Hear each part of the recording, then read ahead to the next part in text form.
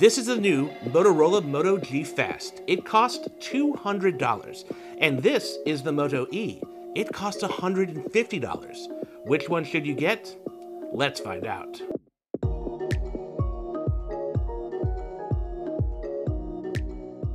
Motorola has a wonderful reputation when it comes to making affordable phones.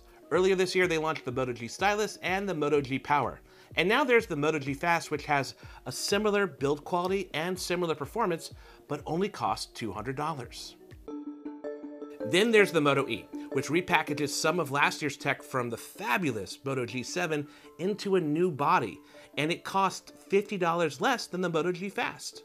Both phones pack a ton of value for your dollar. But if you're trying to decide which one to get, I'm here to help.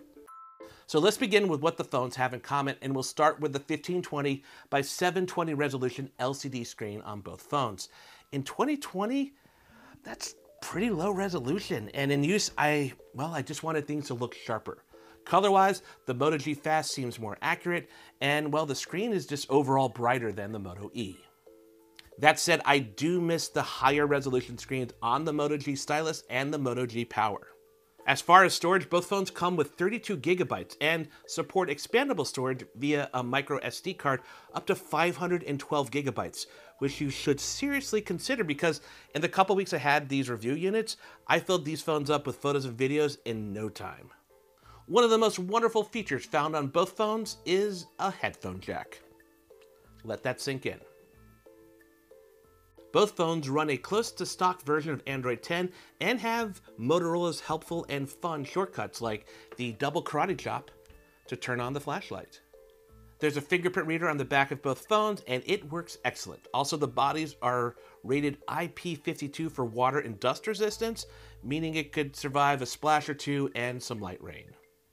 Unfortunately, both phones have a single bottom speaker, and it sounds okay, uh, but sometimes when I was watching like a YouTube video or uh, on a video chat, my hand would cover the speaker and it would make everything sound muffled. And yeah, it's not the best.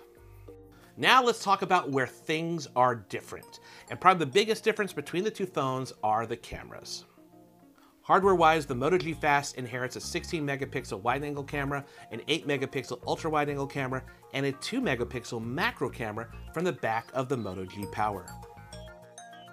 In bright conditions, photos look good, but pictures taken indoors or in low light can suffer from image noise and look a touch soft.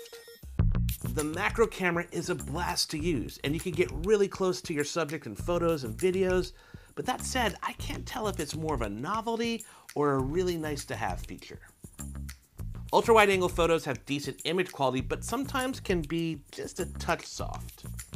As far as video, the Moto G Fast can shoot 4K. Take a look.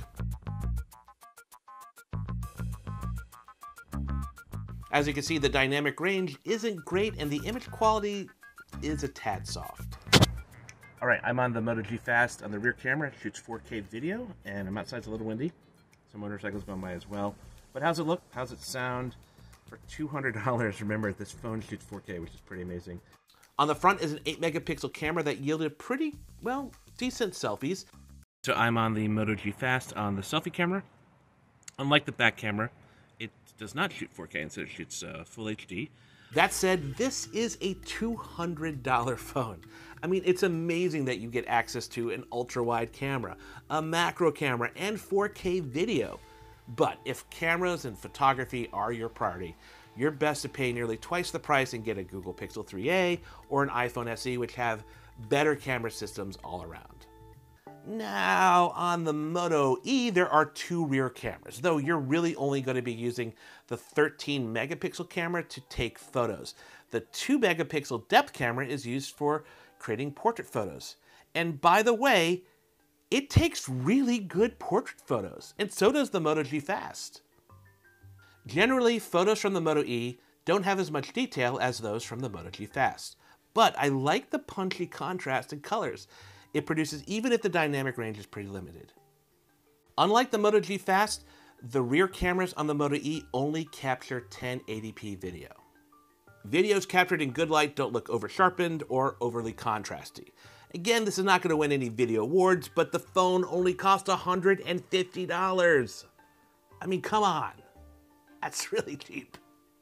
On the front is a 5 megapixel camera that captures pretty soft selfies even with beauty mode turned off. Now, let's talk about screens. The Moto E has a 6.2 inch screen, whereas the Moto G Fast has a 6.4 inch screen, and it has a hole punch cut out for the selfie camera, which I think looks incredibly premium compared to the water drop cutout on the Moto E. Body-wise, the Moto E is lovably plastic. In the hand, it feels light, which I kind of like. Now, your admiration for this may vary. The Moto G Fast is a slick looking phone. In fact, it looks like the iPhone XS Max. And that's not a bad thing.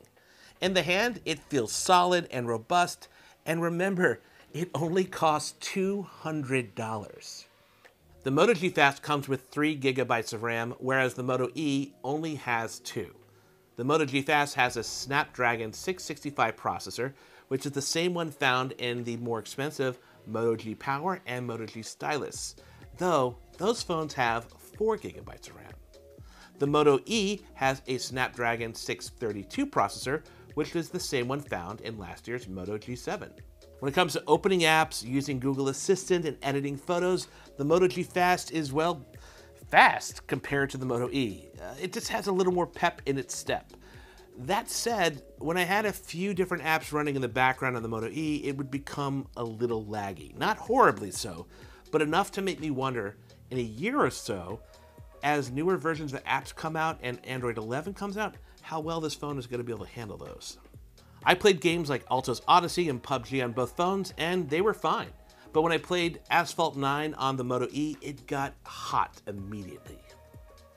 Battery wise, the Moto G Fast has the same 4000 mAh battery as found in the Moto G Stylus. It had no problem making it through a single day, and at the end of two days had 10% battery left.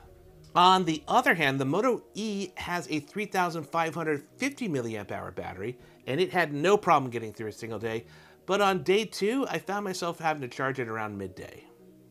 I still have more battery tests to run on both phones, so check out my written comparison on cnet.com for more updates.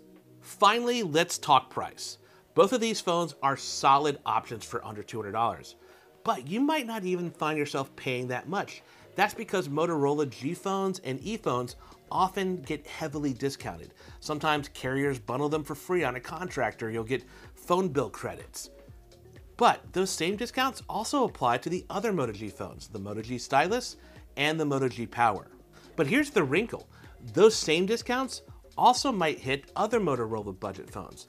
That means you might find the $300 Moto G Stylus for $200 or the amazing, one of my favorite Motorola phones, the Moto G Power, you might find that for $150. And either one of those phones at those discounted prices are a better value than the Moto G Fast or the Moto E. Well, until those phones get discounted. So if you want to learn any more about the Moto G Fast or Moto E, take a look at my article on cnet.com. But I want to hear from you.